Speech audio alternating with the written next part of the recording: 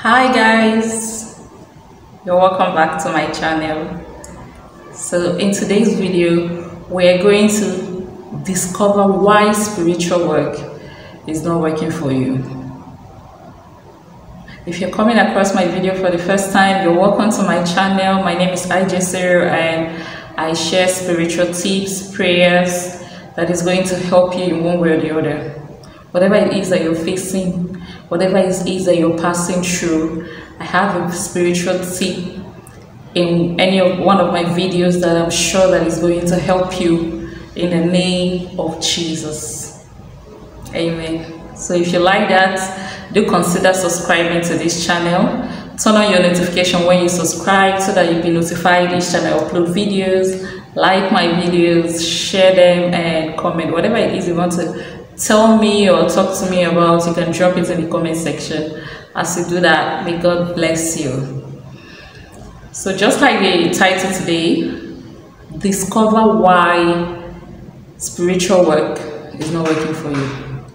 A lot of people will do some spiritual works and they will complain that it is not working for them. Like everything, like as is working for others, it's not working for them. There are a lot of hindrances, there are a lot of factors why it is not working for you. You can't just see a spiritual tip online and then you just try it out like that without any preparation. It doesn't work like that. You have to prepare.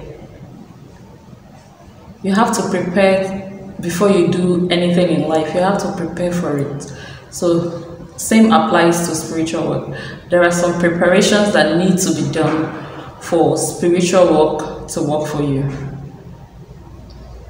Some of those preparations are one, these are things you have to do for spiritual work to work for you. One of it first is you have to do a midnight prayer or fasting.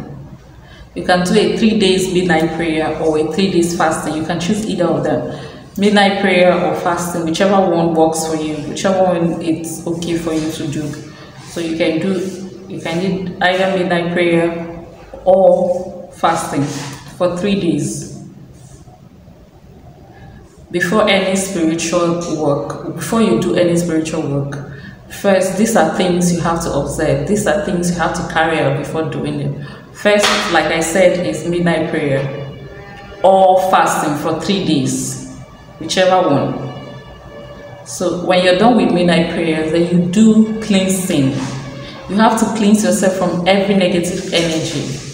When there is negative energy around you, nothing good happens.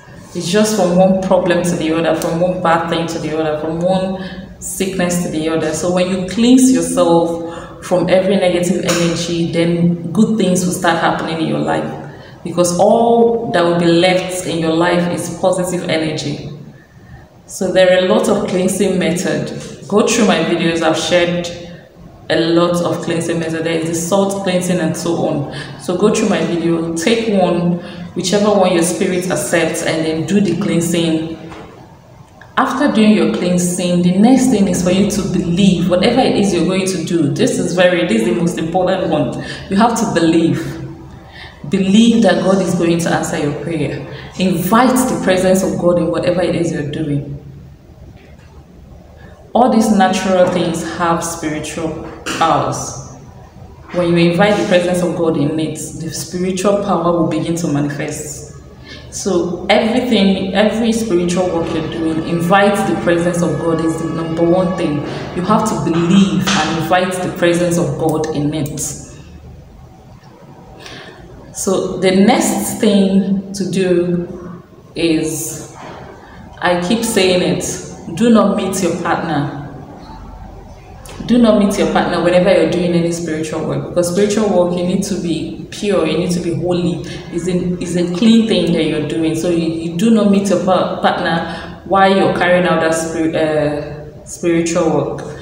Once you're done, you can continue with your normal life. And whenever you're on your period, for the ladies, please don't do any spiritual work.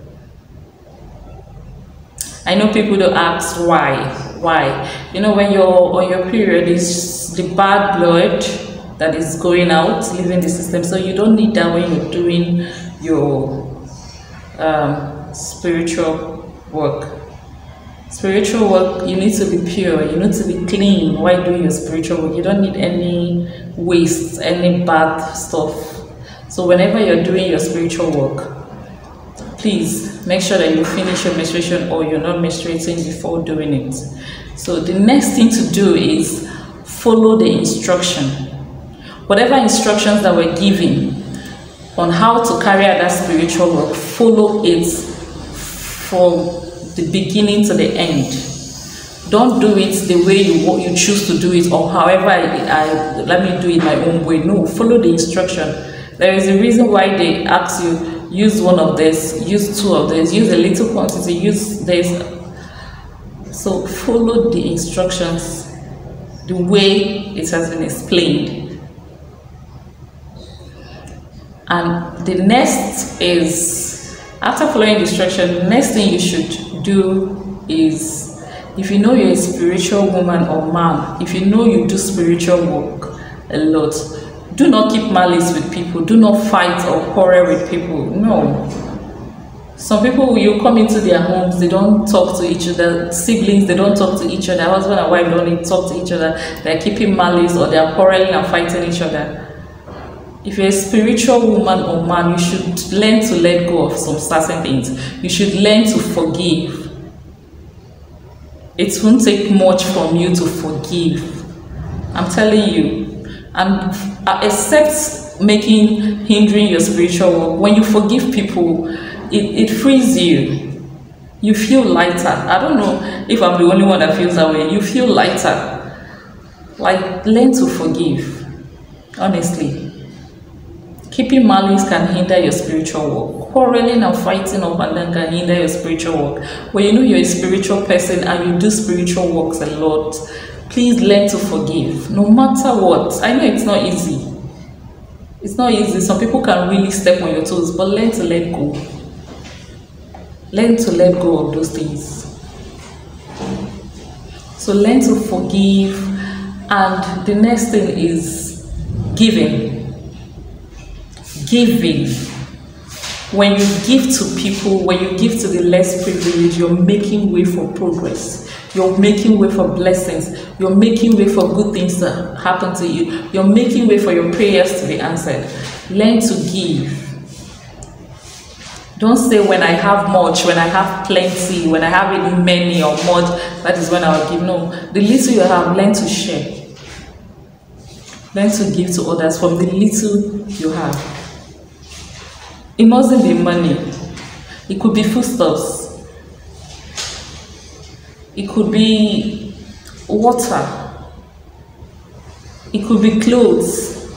The clothes I mean they are not rags or not the ones that you know that people can't use. No, even the ones you wear, but you feel like, oh, this person, someone there might need it more than I do. Someone there might need it more than I do. Then share with the person. Even the clothes, learn to share, not use clothes that are torn and worn out, the colors are not, no. Share clothes, share foodstuffs, those that are in, hungry that you know they've not eaten, you can just call them to your house and then take your foodstuffs, some it's not all, just a little quantity, rice, beans, whatever, and packet it and then give it to the person. You're giving. And as long as it's from your heart, you're not just giving it, oh, I have a uh, spiritual work I want to do, let me just give this. It's not as if I want to give it, but let me just give it for my spiritual work. No, it will work for you. It has to come from your heart. You have to truly want to help someone before it works for you. So learn to give, learn to share from the little you have. It could be shoes, it could be your kids' used to wear, um, clothes, the ones that no longer wear it that are still neat. You can just look for all these people that can't afford it and then give it to them. Or the little you can do, just do it. All these things make way for spiritual works to work for you. All these things make it easy for good things to happen to you. When you cleanse yourself, you get rid of negative energy and invite positive energy in your life. When you don't keep malice, you see you feel lighter. You feel good about yourself. learn to forgive give learn to give learn to share with people from the little you have. Cleanse yourself cleanse your home. Always cleanse your home. Whenever you do it yourself a personal cleansing learn to also do your home cleansing too. Cleanse your home cleanse yourself believe in god. Follow these instructions these preparations i gave and you see all this spiritual work will be there. As be careful. Please remember to subscribe if you haven't.